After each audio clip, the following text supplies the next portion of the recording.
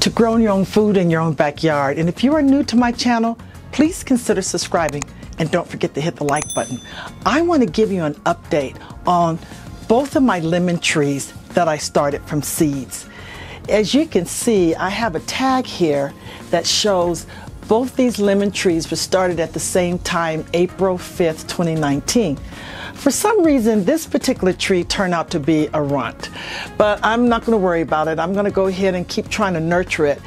But look at this tree. Isn't it beautiful?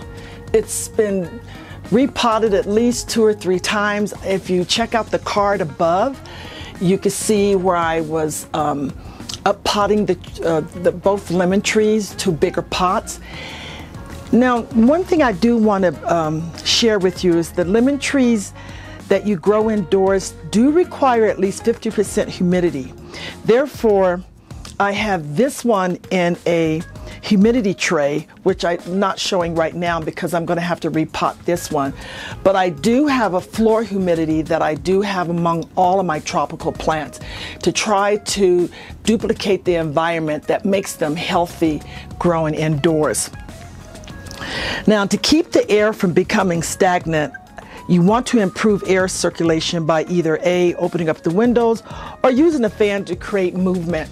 So in my particular environment, I do have to use a fan to create um, air movement so that the trees continue to um, do well in an environment where it's getting humidity, it's um, getting airflow, so the tree is, is moving with the airflow. And when I bring the trees in from outside during the summer months, I want to make sure that the indoor environment still replicate, replicates the outdoor environment. So it doesn't go too much of a go through too much of a transplant shock and it continues um, to be healthy. You want to give them plenty of sunlight. Lemon trees love sunlight and they require at least a minimum of 8 to 12 hours a day of sunlight to thrive. So I do have my lemon trees grown under a grow light because I have so many plants right now. A lot of my windows are already overtaken by plants and so in this particular case both these trees are growing under a grow light and I do have them on an automatic timer so they're getting 8 to 12 hours a day of grow light, and then of course they have rest at night when the um, when the grow lights turn off. Now this particular lemon tree is root bound, and I need to repot it. The leaves are yellow, and I did a lot of research on what turns um, lemon tree leaves yellow, and it seems like I'm doing everything right. I just think this particular tree just seems to be a runt that I just maybe didn't have a good strong seed, but it, it's it's growing. It's just not growing as fast. But I do notice that the leaves at the bottom are green, so I am trying to um, fertilize it with all the right nutrients in order to correct this problem right here. So you do want to um, keep their soil evenly moist, like this one here. And you want to choose a well draining pot. And then you want to also use a potting mix that's designed for indoor palm or trees or citrus. These mixes do help prevent soggy soil while still uh, retaining their moisture so roots don't get too wet or too dry. You want to fertilize to replace soil nutrients. And I find myself having to feed this particular tree every month to keep it healthy. And God, it has such an aroma coming off this tree. So let's go ahead and get this one repotted. So I'm going to go ahead and loosen the soil up around the sides. And I did try to want to, I did want to dry this soil out so that when I lift this tree up, it, the soil wouldn't fall apart. But I do believe this particular tree is root bound. Let me remove this here.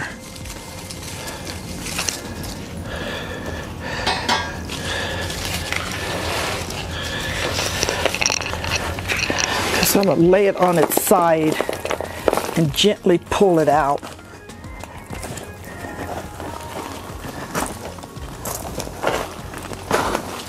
And it's not gonna be the root ball that I'm hoping will come out. But as long as I can keep the roots in place, that will help. Now, the, the soil is falling apart. That's because this soil is, it, it is um, wet, but you can see where the roots were at the bottom. So obviously it is root bound. So I'm gonna try to grab this, set it in like this, just like that. And then I want to backfill it with the same soil that came out. And if the soil was a bit drier, it would have came out a lot better. But I don't like these lemon trees to get real dry because they do like moist soil evenly throughout its um, throughout their existence and so I just wanted to make sure that I didn't um, dry it out too much. The, the soil is very moist to the touch, so that tells me that it's definitely been growing in really nice, evenly moist soil. Okay, so I'm backfilling this right now. Again, this lemon tree was root bound. So it was best that it was put in a bigger pot. And I also wanted to keep uh, keep I want you to keep in mind that lemon trees would rather be outdoors.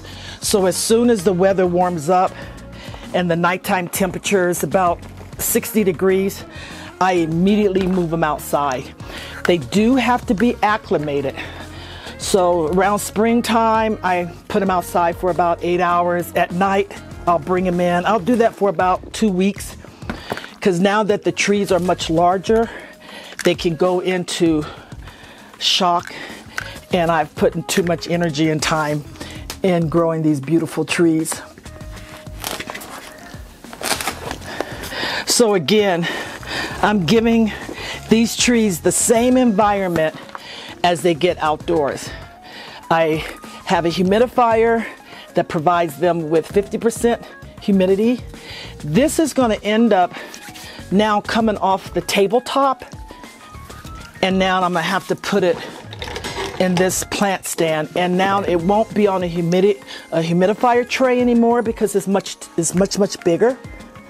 So I would just basically put it right next to this one and um, and grow it like this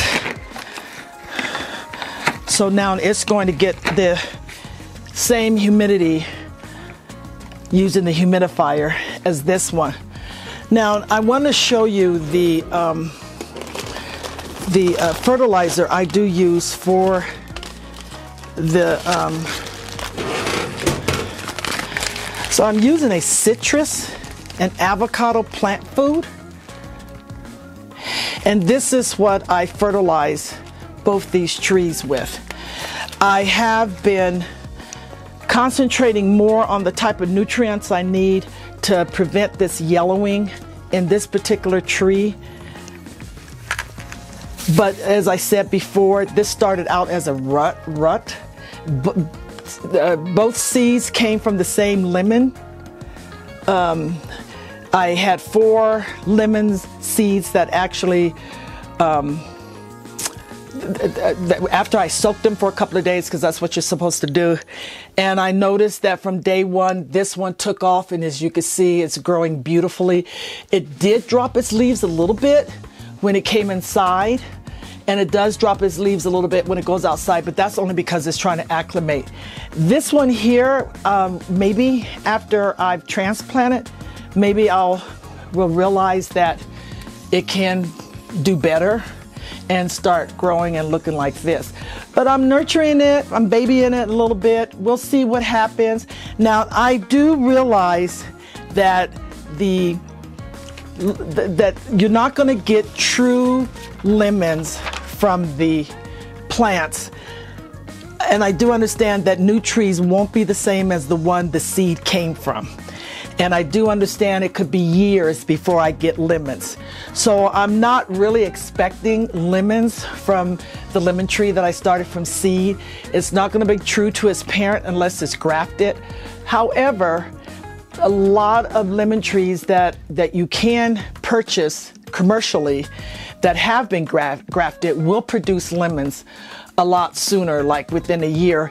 And I may consider grafting this particular tree maybe with a Meyer lemon plant or Meyer lemon tree and graft it on this rootstock here to eventually produce lemons. But it's just been fun growing the lemon tree. It has a beautiful aroma right that comes right off the plant. Again, if it does produce lemons, it'll probably be years before. It'll be a big tree. Um, I don't know if I'll be able to move it uh, uh, uh, from outside to indoors. It will. We'll see. This is a new. Um, a new project for me. I'm really pleased with the outcome. Um, if it does produce lemons, it will not be the same lemons that it came from the um, the original uh, plant or the uh, original um, seeds. So I just wanted to give you an update on growing my lemon tree from lemon seeds for the past two years. And they've been up potted maybe two or three times since I've um, started them. This one here is my, it's the, it's the little rut, but that's okay.